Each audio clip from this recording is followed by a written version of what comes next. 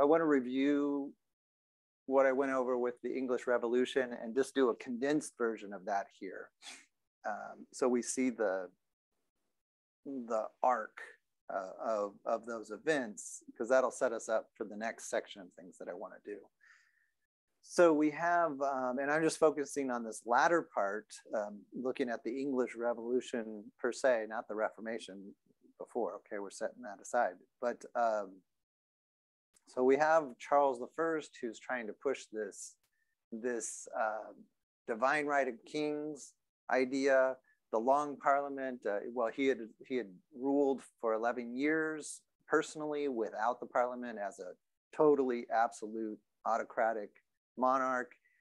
And the Long Parliament gets called up in order to address uh, funding the Bishops' War and they set in place and sort of and, and twist Charles's arm to put in an act of parliament so that um, parliament cannot be dissolved unless it dissolves itself. Okay, taking away one of the prerogatives, the arbitrary prerogatives of the monarchy. And, uh, and then, of course, uh, the, the English Civil War ensues. Charles is ultimately executed, and in the midst of that, there's this uh, military purge of parliament. So we get the rump parliament, which no longer has the House of Lords. So nobility is getting pushed out of, out of the equation. And in essence, we have a republic that's being run by commoners not by a monarch and not by nobility. And uh, that's quite a revolution from what had occurred in previous centuries, as I've talked about extensively in the past. So the Commonwealth is that republic that exists in this time period.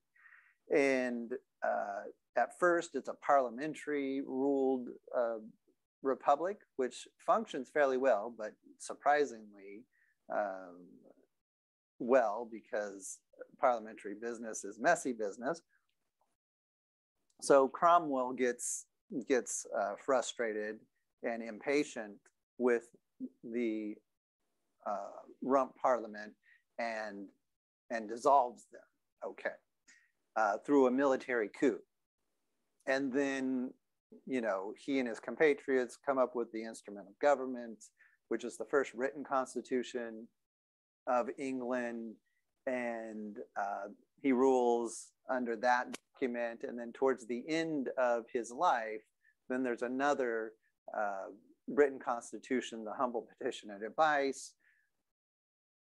And, uh, and that reinstitutes uh, an upper chamber above the House of Commons. So it's, and, and even in the first draft, includes a monarchy for Cromwell, but he rejects that. But nonetheless, we get this upper house.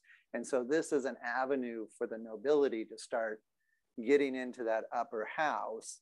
And of course, in the process of this, Cromwell, and I don't think I emphasized this before, Cromwell is creating new nobility. He's creating uh, new baron, barons uh, within the peerage. So a lot of the later nobles after this point are actually newly minted nobil nobility from the protectorate era. So we see that there's kind of this reversion once Cromwell's in control, he kind of wants to create a new nobility. Okay. Um, but he does resist the worst uh, features of it and parliament does retain some control over you know that personal rule.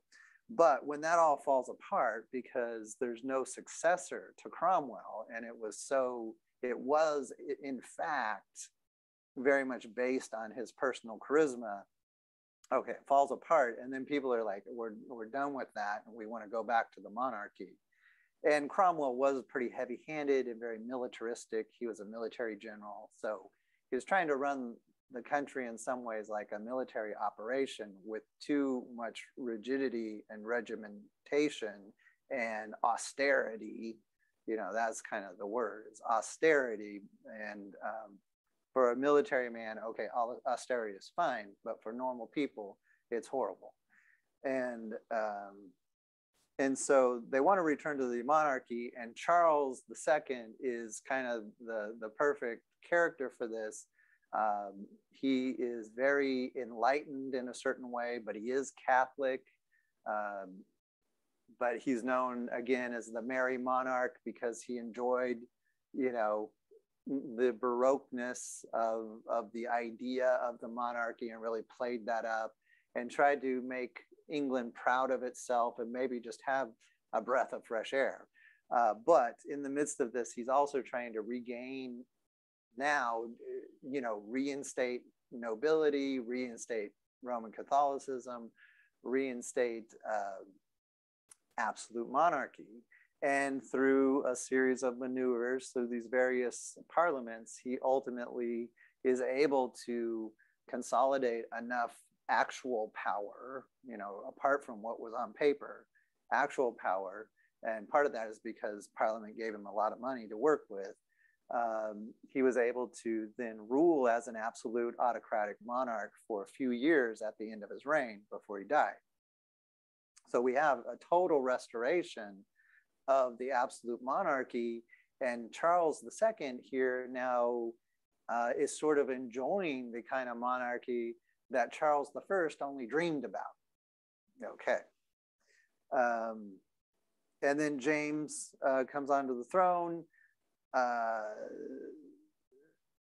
he has the loyal parliament, uh, which also gives him a lot of funds to work with, and um, and then he's able to have, uh, again, although on paper it wasn't supposed to be an absolute monarchy, he was able to maneuver things into a situation where he had autocratic absolute rule for a few years. Okay, so that was a total defeat of the Republican Commonwealth that had existed before. You know, you, they the uh, Republican spirit was able to get the Commonwealth into place, and then it's totally undone by the Restoration.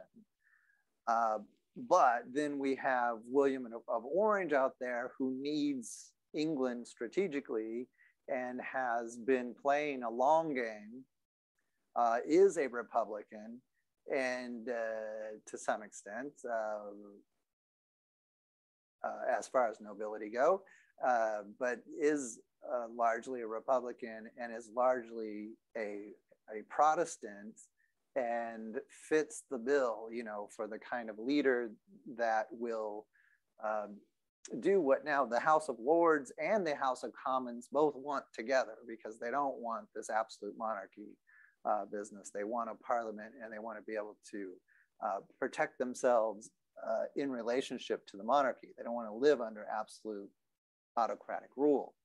And so William of Orange comes in and and just fixes things uh, very quickly. And um, Parliament is able to negotiate with William initially to get things somewhat in a form, the form of a parliamentary monarchy, but especially as William of Orange gets older and is approaching death, then he's able and, willing to relinquish uh, relinquish the whole notion of an absolute monarchy and the, that's especially precipitated by the likely outcome that um, that the uh, that so Sophia of Hanover um, is going to be is going to be uh, the next in line after Anne. And so we're, they're going to have a foreigner on the throne who's very foreign. Uh, William of Orange was not so foreign, uh, but the prospects in the future are looking like we're going to have a foreign king, and that's you know from the perspective of Parliament, that's that's not great. And um, but I think uh, William understands that, and so they they come to a final settlement, the Act of Settlement of 1701, and that gets the parliamentary monarchy on a solid footing. And then Queen Anne rules uh, as the last uh, uh, the last of the Stuart uh, monarchs. Um, uh, and and then we move on to a whole new phase of English history. But in this new phase, now the, the parliamentary monarchy really sets in. And so that's what I want to talk about next. Okay, we'll see you there.